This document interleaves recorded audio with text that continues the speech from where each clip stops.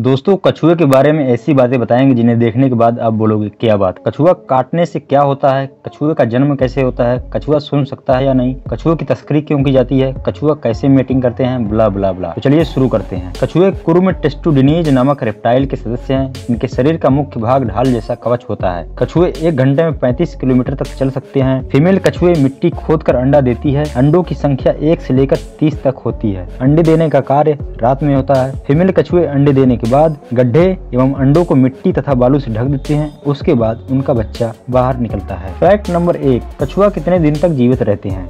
कछुए की कुछ प्रजातियाँ ऐसी है जिनकी सामान्य उम्र 50 साल तक होती है। एक ऐसी प्रजाति भी है जो 250 सालों से भी ज़्यादा दिनों तक ज़िंदा रह सकती फैक्ट नंबर टू, कछुआ काटने से क्या होता है? कछुए जहरीले नहीं होते हैं, न ही इनके काटने पर जहर होता है।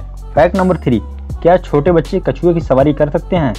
भले ही कछुए मज़बूत होते हैं, लेकिन कभी भी छोटे बच्चों को उन पर सवारी नहीं करवाना चाहिए, क्योंकि इससे उनके खाल को नुकसान पहुँच सकता है और उनका खाल या कवच टूट सकता है। फैक्ट नंबर चार, कछुए कितने घंटे सोते हैं? आपको बता दें, कछुआ एक दिन में लगभग 19 घंटे तक सोते हैं।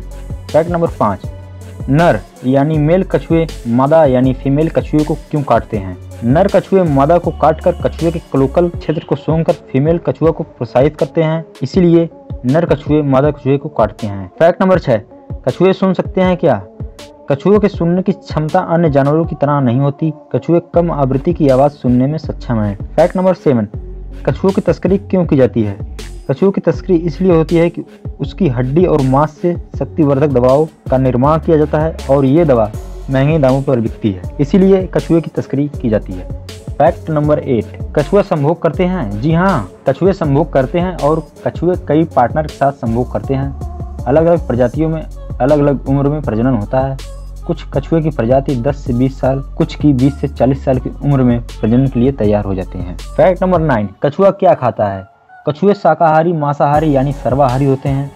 कछुए, पौधे, ताजी सब्ज़ियाँ, केला, सरसों का साग, शिमला मिर्च, शकरकंद, फूलगोभी खाते हैं। कछुए पानी के अंदर मछली और छोटे छोटे कीड़ों को खा जाते हैं। फैक्ट नंबर टेन, गैलापागोस द्वीप पर पाया जाने वाला कछुआ विश्व का सबसे बड़ा कछुआ है। एक वयस्क कछुआ 300 किलो तक का हो सकता है। है ना शानदार। वैसे आप वीडियो यहाँ तक देख चुके हैं तो वीडियो को लाइक कीजिए, चैनल सब्सक्राइब कीजिए और अगली वीडियो किस पे बने, ये भी कमेंट कीजिए। Thanks for watching.